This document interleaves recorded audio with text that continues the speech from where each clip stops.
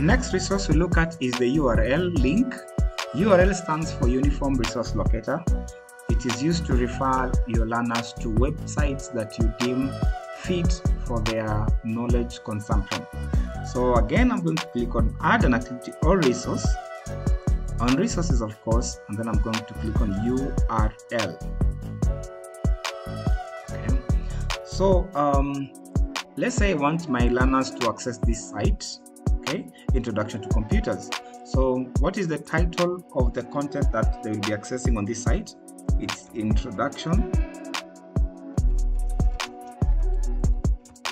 to computers so I'll have to go copy the link and paste it here. How do we do that? I'll come to my site. On the address bar here, that is the link. Okay. So right click it, copy, just come here, right click, paste. And that is it. And that is it.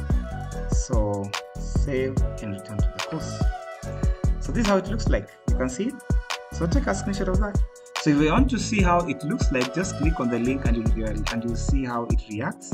So you must test it before you say you're done. So I'm clicking on it. It takes you here. Click on it again. There you are. So the link is working.